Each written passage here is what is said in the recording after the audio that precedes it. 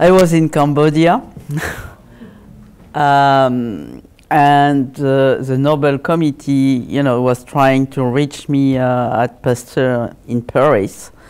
Uh, unfortunately, they could not get any answer. Uh, they called even the director of Pasteur, and the director of Pasteur didn't know where I was.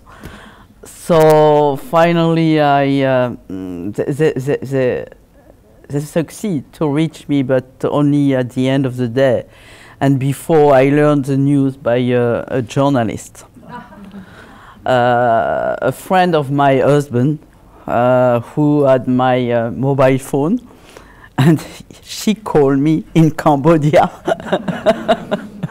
to tell me, Françoise, did you hear about uh, the wonderful news? I said, what are you talking about?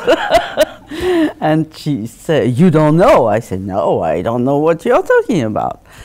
And so she told me on the phone and she started to cry. So before she said anything, she was crying and I thought it was a catastrophe. Finally, when she stopped, she said, You got the Nobel Prize. and I hang up and I said, I don't believe you. and then the phone started to ring again, and my colleague in the room with me in Cambodia said, Stop it. Give your phone to us. I think it's right.